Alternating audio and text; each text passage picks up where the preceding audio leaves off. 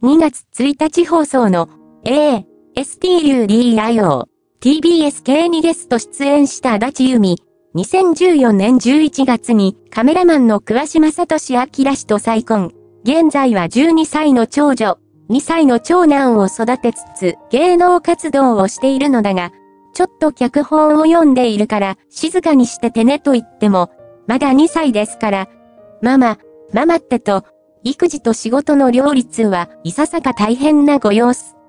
その中で長女の性格は、すごくパンクだといい、人と違うことが楽しいみたいなところがある子で、髪型もそうだし、服装も、今は、髪色はピンクですね。すごいです。夫が金髪なので、ピンクにしたいって言われても止められなかったですと苦笑いする一幕もあった。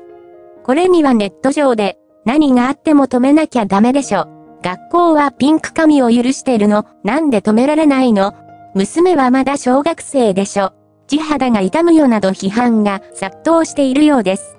中には、足立が飲食店オーナー、ビワとして出演中のドラマ、初めて恋をした日に読む話。TBSK で深田康子演じるヒロインの塾講師、純子の教え子でありラブ関係に進みそうな横浜流星演じるただしたいらが髪をピンクに染めているため、お母さんのドラマを見て感化され髪をピンクにしたのでは、という見方をする人まで出てきているようです。女性指揮者、つ、娘のジップである井戸田純は、こんな状況を知ったらどう